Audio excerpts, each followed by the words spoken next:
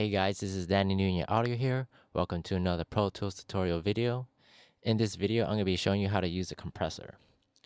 So over here you see that I have a kick track set up for you guys already. Just go ahead and play it.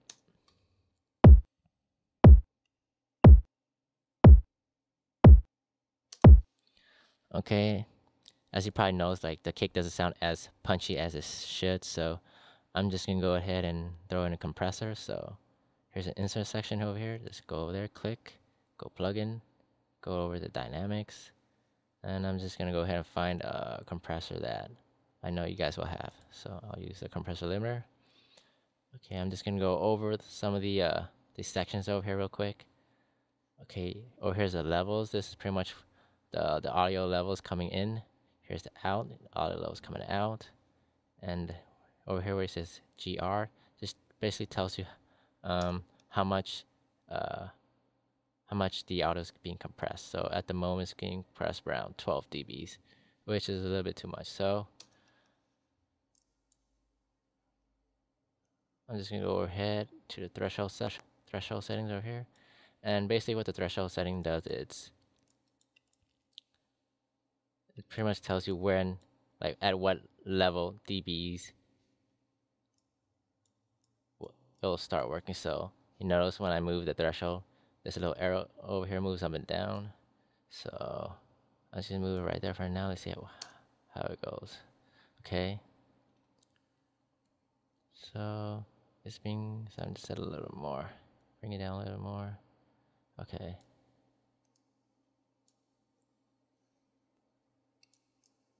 basically the ratio setting the ratio basically uh, it does. So say I set it at 6 let's try to set it at 6 so at 6 dB. So I set at 6 so anything that's 6 dB is going to become 1 dB.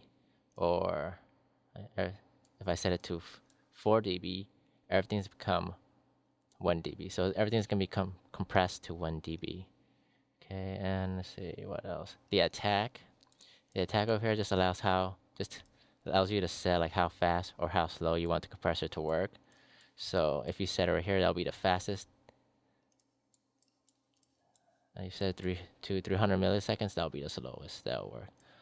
Also, the release setting over here just pretty much tells allows you to set like how how long you want the uh, or how short of amount of time you want the compressor to work to hold on to the compression. So let me just set it to four seconds right here. Notice that it's holding compression a lot longer than it should, so notice, let me set it down to something faster. Notice the compression is working a lot faster. It's not holding the compression as long. So that's what allows you to do.